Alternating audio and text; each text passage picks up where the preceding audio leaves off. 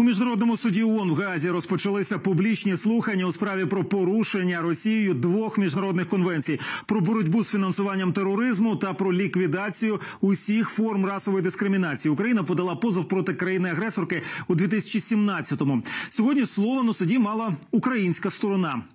Про перший день слухань розкаже власна кореспондентка Укрінформу в Газі Ірина Драбок. Вона з нами на прямому зв'язку Нідерландів. Ірино, вітаю. Які маєш подробиці?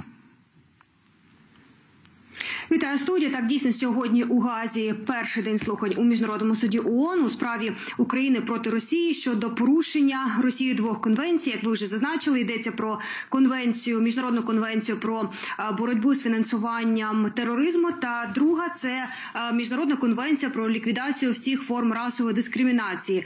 Ці слухання були публічні, присвячені розгляду справи по суті. Сьогодні слово у суді мала українська сторона, і першим виступав посол з особливих доручень Міністерства Міністерства закордонних справ України Антон Куреневич. Я прошу послухати пряму мову. Якщо ми звернемо увагу на ситуацію сьогодення, стає очевидним, що з 2014 року Україна мала рацію, коли била на сполох, попереджаючи світ про зростаюче порушення Росією норм міжнародного права. Жорстока поведінка Росії та стримана реакція світу, зрештою, призвели до найбільшого збройного конфлікту в Європі із часів Другої світової війни.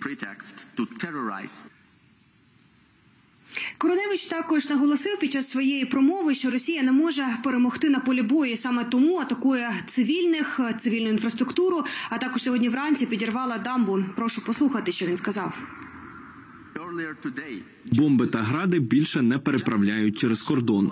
Зараз Росія відкрито обрушує на українців тисячі ракетних ударів. Сьогодні вранці Росія підірвала головну дамбу, яка розташована у новій Каховці, що спричинило значну евакуацію цивільного населення, серйозну екологічну шкоду та загрозу безпеці Запорізької атомної електростанції. Як ви могли ще не бачити на відео, у судовій залі були присутні судді. Їх було 15. Також була присутня сторона Росії. Вони виступатимуть у суді вже 8 червня. Потім 12 червня виступає юридична команда України. І вже 14, 14 червня слово знову матимуть представники Росії. Сьогодні слухання почалися об 11 ранку за київським часом і тривали аж до 7 години вечора за київським часом. Тому чекаємо на подальші виступи. Суддя? Ну я додам, що чекаємо ще й на наступні судові засідання проти Росії, бо це явно не останнє. Дякую, власна кореспондентка Укрінформу в Газі Ірина Драбок про судове засідання у Газі.